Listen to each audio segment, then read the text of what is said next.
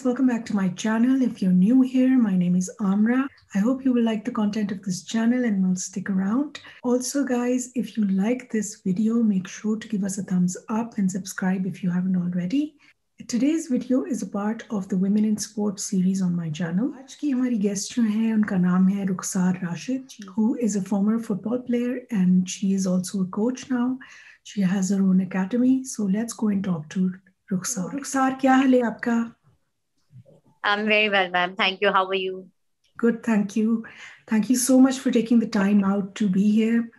Rukhsar, I'm going to start out by asking you कि आप हमें बताएं आप फुटबॉल प्लेयर हैं कैसे आप फुटबॉल प्लेयर बनी and how is the experience? Okay, so my name is Rukhsar Rashid. I have represented Pakistan national women football team and I have started my journey 10 years back. So 10 साल में मैंने काफी obstacles भी देखे हैं और अल्हम्दुलिल्लाह by the grace of God मैंने काफी achievement भी हासिल किए हैं like right now if I introduce myself so I am international footballer I'm AFCC licensed certified football coach I have done futsal courses from Milan Italy I am a youth leader I'm the general secretary of Sin Women Futsal Association and I'm the youth coach of uh, the Women Football Club, is the, which is the pioneer of women football Pakistan. I'm working with them and I pay for them as well. This is my parent club, And I'm running my own academy as well, on football academy.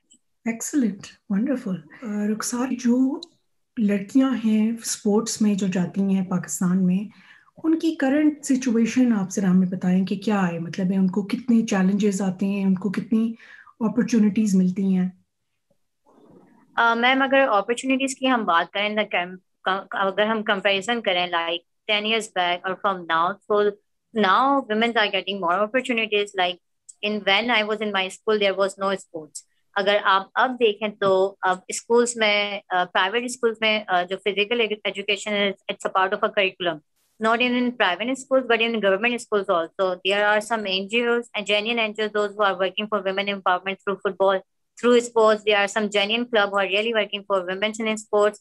And they are more youth leaders जो youth के लिए काम करें जो opportunities उन्हें नहीं मिली थी लेकिन वो चाहते हैं कि जो अब जनरेशन आ रही है उनको मिले। Like they are more academies who are you know running football academies अगर मैं बात करूँ बिकॉज़ आई बिलोंग फुटबॉल तो यहाँ पे अब काफ़ी फुटबॉल अकेडमीज बन गई हैं काफ़ी क्लब्स हैं और कंपटीशन पहले के दस साल पहले आपने और अब जाए तो कंपटीशन भी बहुत टफ हो गया है। So not on the federation level, not on the government level, but if I say on local level, the people are here who are genuine, जिनका पैशन है स्पोर्ट्स वो काम कर रहे हैं और उस वक्त के मुकाबले में अब अगर आप देखें तो वुमेन्स के लिए काफ़ी अपॉर्चुनिटीज़ हैं। उनको चैलेंजेस क्या आते हैं? अगर वुमेन्स की बात करें तो आप किसी भी फ़ील्ड में चले जाएँ तो चैलेंजेस तो आते हैं ऑब्स्टिकल्स आते हैं। But if you talk about the sports women को जो चैलेंजेस आते हैं तो पहले तो उनकी फैमिली से लाइक अभी भी जो है स्पोर्ट्स जो है मेल्स की फ़ील्ड मानी जाती है।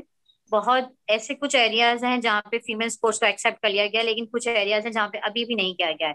तो जो पहला एक लड़की के लिए स्पोर्ट्स में आने के लिए होता है तो उसकी फैमिली होती है। बहुत लकी है वो गर्ल्स तो they are very lucky if they get supported by their family their relative उसके बाद जो अगर हम देखें, अगर आप एज अ कोच अगर एक गर्ल को परमिशन मिलती है बाहर आने की तो पेरेंट्स जो है वो यही डिमांड करते हैं कि उनकी डॉटर सिस्टर जो है सेफली जाए सेफली आए घर पे। और as an organisation as an coach हमारी भी यही सब में पहली रिस्पॉन्सिबिलिटी है कि you know safety and secure environment तो हमारे पास जो ऑब्स्टिकल्स हैं Uh, हमारे पास प्रॉपर फैसिलिटीज़ नहीं है प्रॉपर ग्राउंड नहीं है. If you see a boy a boy can have a ball he can play in the ground open ground में भी खेल सकता है he can play on the street but when you talk about a girl girl sports girl तो she can we have to look for the you know secure environment where she can safely go and play तो you know it's it's very different from male sports to women's sports it's very different there are lots lots of obstacles families के बाद आप आ जाते हैं तो कोई secure career uh, नहीं है अगर आप देखें अगर एक फैमिली की परमिशन मिल भी जाती है तो they don't take it as a career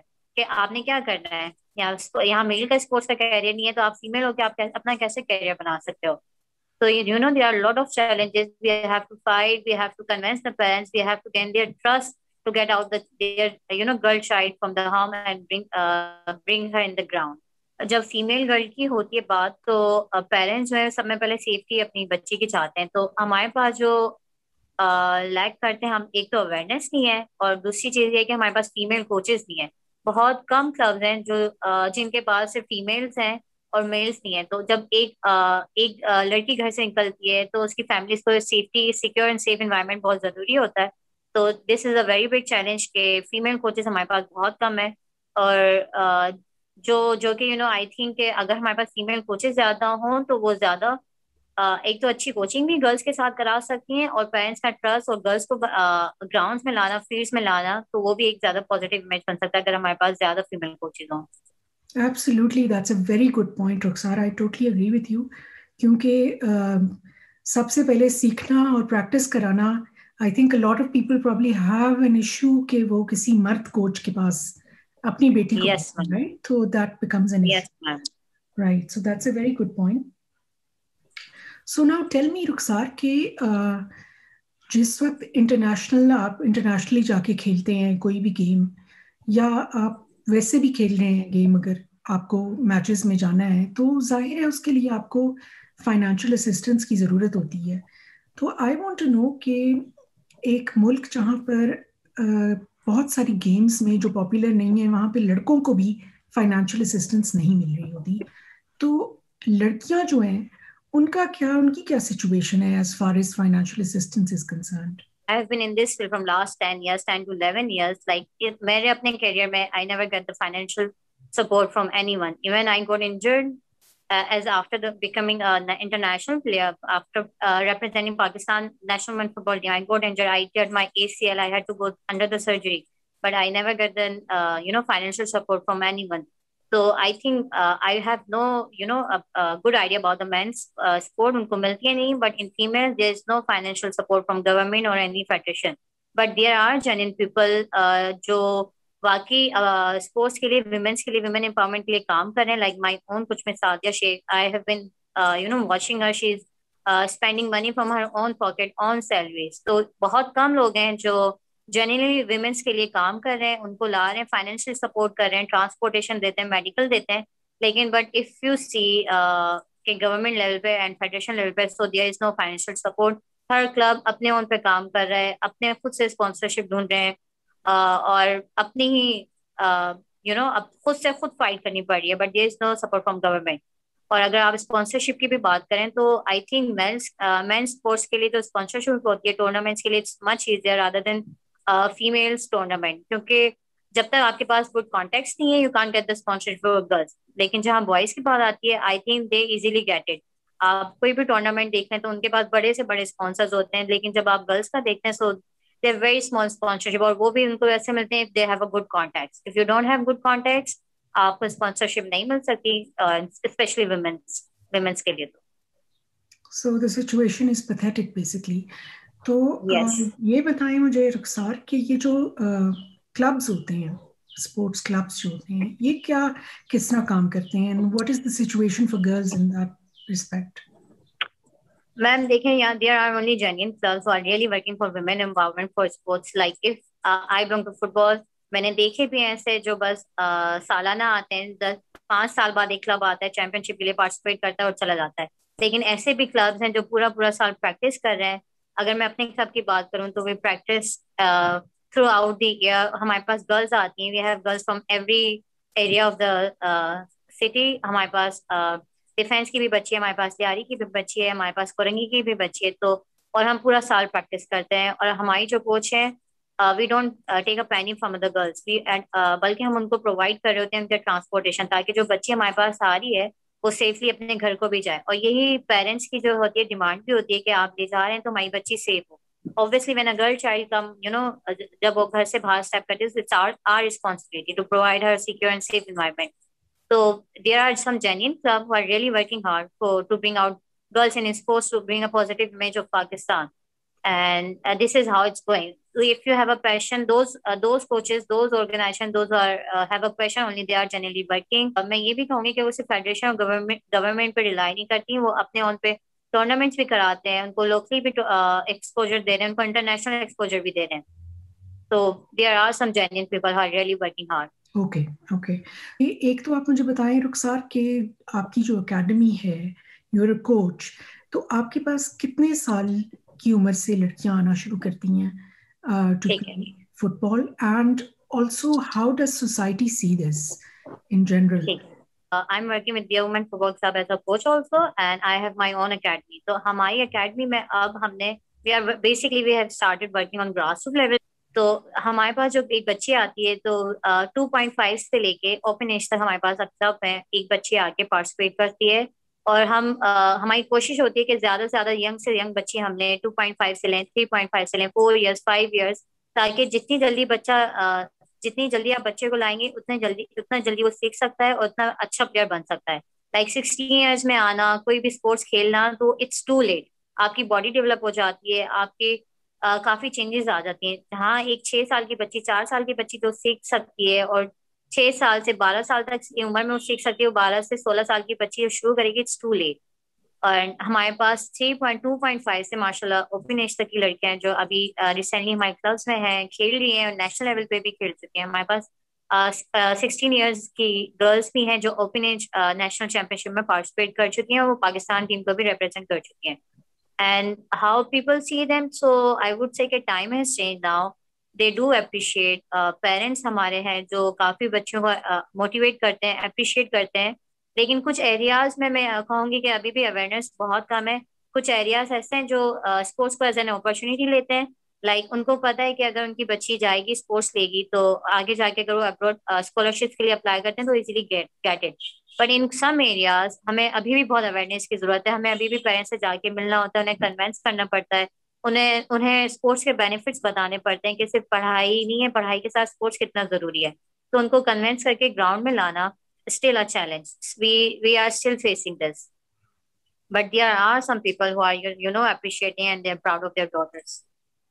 So you're saying कि there are some uh, parents जो खुद encourage करते हैं अपनी बेटियों को कि वो sports में हिस्सा लें और वो आपके पास लेकर आते हैं देर आर अदर्स जिनको आप लोग जाके खुद पिक uh, करते हैं from schools who actually go out to schools and look for girls yes ma'am definitely we have to see and approach them but हमारे पास जो ऐसी गर्ल्स हैं जो दस बारह साल की थी और माशाल्लाह they are twenty years twenty two years they have been with us in this journey और उनके पेरेंट्स से लेकिन स्टार्टिंग में यही होता है we have to go to their houses we have to talk to the parents we have to win their trust और उसके बाद जब पेरेंट्स का हमारे पर ट्रस्ट हो जाता है तो दे आर माशाल्लाह satisfied and they are proud of us and they are proud of their daughters and लेकिन कुछ एरियाज़ ऐसे हैं कि अभी भी हमें जाता जहाना जहाँ पे हमें टैलेंट नज़र आता है तो हम अप्रोच करते हैं उस बच्चे को, उनकी फैमिलीज़ को।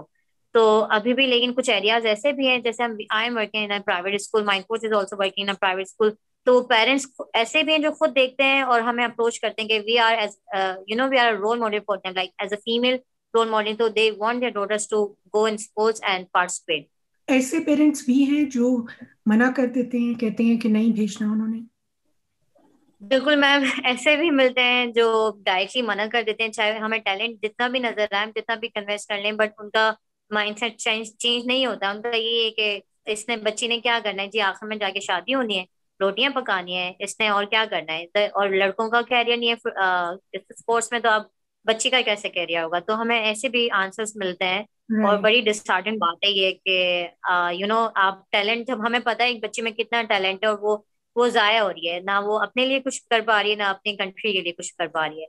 तो ऐसे भी हमें पेरेंट्स से हमारा कांटेक्ट होता है और दिस इज़ वेरी सैड सही है बिल्कुल। I am going to wrap this up now by asking you the last question कि जो हमारा मीडिया है मीडिया uh, की बहुत ज़्यादा इम्पोर्टेंस होती है किसी भी सोसाइटी में बिकॉज़ वो uh, हमें ब्रेन वॉश कर रहा होता है without us actually knowing about it तो I think it's really important to talk about this कि मीडिया जो है वो कैसे पोर्ट्रे करता है लड़कियों को स्पोर्ट्स में। पॉजिटिव न्यूज़ होती है यानी कि स्पोर्ट्स इवेंट्स लड़कियों के जो है उनको क्या वही कवरेज मिलती है जो लड़कों को मिलती है किस तरह होता है अगर मैं प्रिंट मीडिया की बात करूँ तो they are you know portray very positive image of women sports and अगर सोशल मीडिया की भी मैं बात करूँ YouTube channel and there is a page खिलाड़ी so they are really working hard they are putting their efforts के women's आए सामने वो positive image करें कोई भी tournaments होता है तो print print media is there to cover us